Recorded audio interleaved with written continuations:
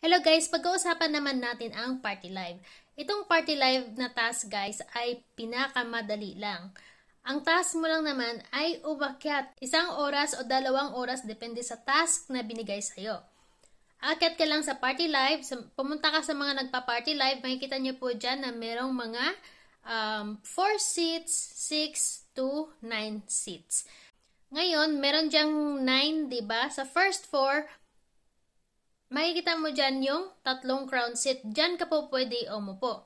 Pag may nakita kang naka-vacant, magpaalam ka po sa host nung pwede kang mag-tasking. Ngayon, marami pong nag-free uh, crown seat. Hindi ka pong umupo dyan.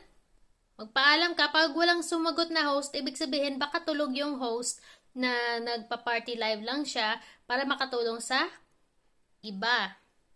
Kasi meron pa kasi yung mga lalo na sa mga may mga agency guys, nakalak po kasi yon kasi nakalaan po yon sa kanilang mga member na magta-tasking din.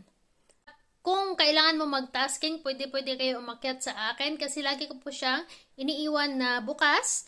At naka-automatic po yan kapag pinindot nyo, makakaupo na po kayo. Maliban na lang kapag malubat na yung phone ko ay talagang ma malalaglag kayo, no? Pero huwag kayong magalala kasi pwede nyo naman i-continuous yon sa iba. Hindi naman kailangan na talagang sunod-sunod na 1 hour. Pwede yon putol-putol. Kahit 15 minutes dito, 15 minutes doon, 15 minutes ulit ngayon. Ayan, pwede yan. Matutuloy yan hanggang sa matapos mo yung ilang minutes yung kailangan mo.